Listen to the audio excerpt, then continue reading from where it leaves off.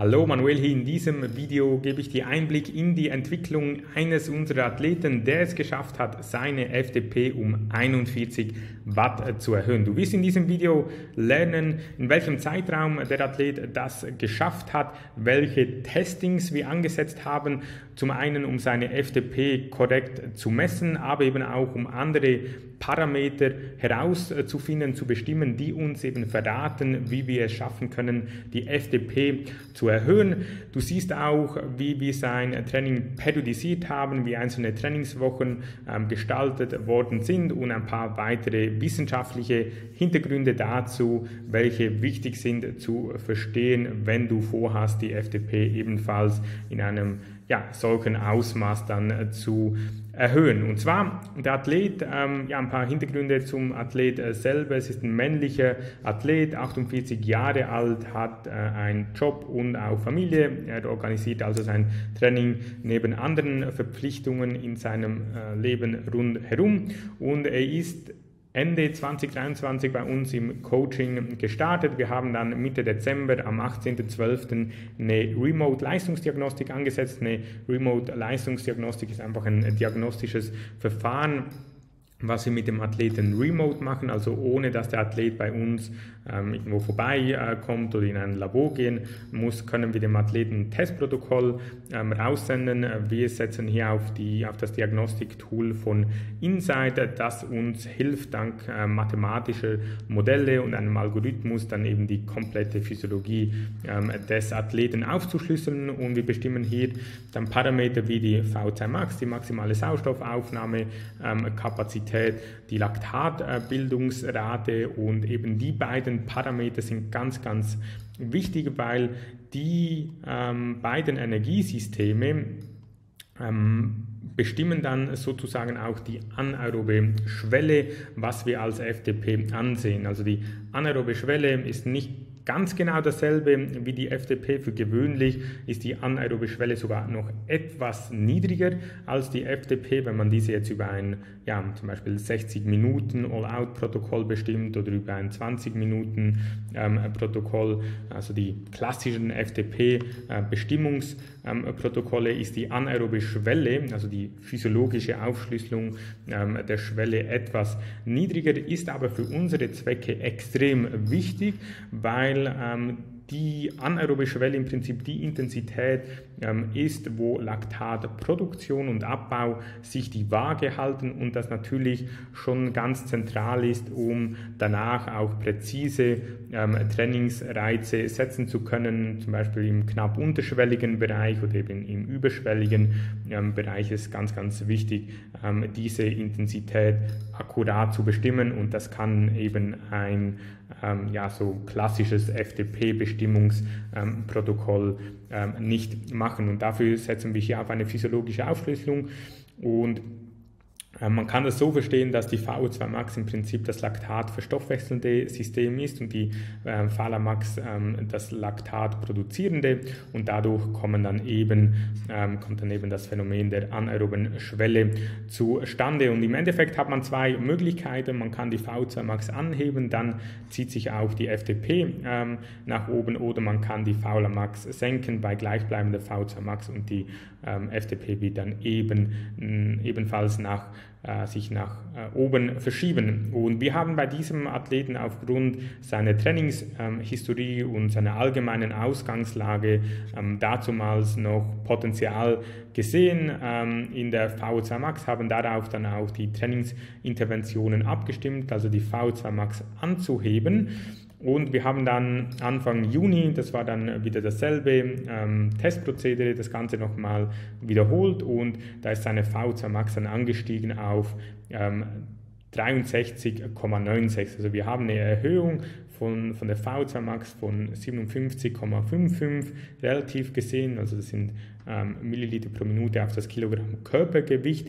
Ähm, der absolute Wert steht hier, hier unten. Das waren dann dazumals noch im Dezember 4184 Milliliter und die wurden erhöht auf eben dann die 63,96 respektive absolut gesehen 4624 Milliliter. Seine Phalamax ist ja, fast identisch geblieben, ähm, 0,52 damals und ähm, jetzt im Anfang Juni, am 4. Juni bei 0,47. Und diese Veränderung, speziell in der VH Max, hat dazu geführt, dass seine Schwelle nun äh, um 41 Watt angestiegen ist, nämlich von 260 Watt auf 301 Watt. Also eine sehr deutliche Verbesserungen an der anaerobischen Schwelle, respektive ähm, FDP, dank einer Verbesserung äh, in der maximalen Sauerstoffaufnahmekapazität. Genau, und ja, wie haben wir das äh, denn im, im Endeffekt ähm, geschafft? Wir haben sein Training folgendermaßen auch periodisiert. Du siehst hier mal ähm, eine, einen Ausschnitt aus seinem ATP, also der Jahrestrainingsplan. Äh, da haben wir ähm, ja, Mitte Dezember war dann die Leistungsdiagnostik und danach haben wir bis Mitte ähm, bis sogar ja, Mitte März haben wir eine Base-Periode ähm, angesetzt. Ähm, das siehst du hier unten. Das waren alles Base-Weeks von Mitte Dezember bis Mitte März. Und in einer solchen Base-Phase setzen wir auf einen polarisierten Trainingsansatz. Ein polarisierten Trainingsansatz hat zum Ziel, die VO2 Max anzuheben und gestaltet sich so, dass wir ähm, ja, viel Trainingsvolumen, also der Großteil der Trainingseinheiten und des gesamten Trainingsvolumen findet im Grundlagen-Ausdauerbereich statt ähm, und ist gepaart mit vereinzelten hochintensiven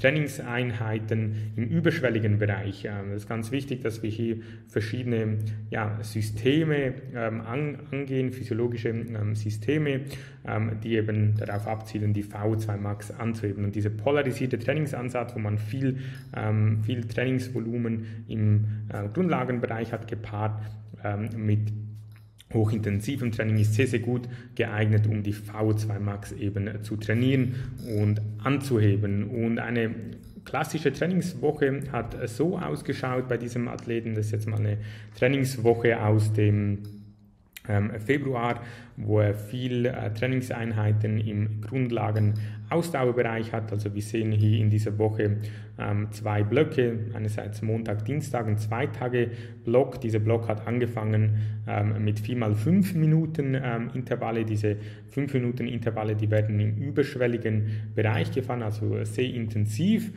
Ähm, und dann am Folgetag hat er eine Grundlagen-Session ähm, gehabt, wo dann eben entsprechend im niedrig intensiven ähm, Bereich war, so bei 60 bis 70 Prozent der maximalen Herzfrequenz.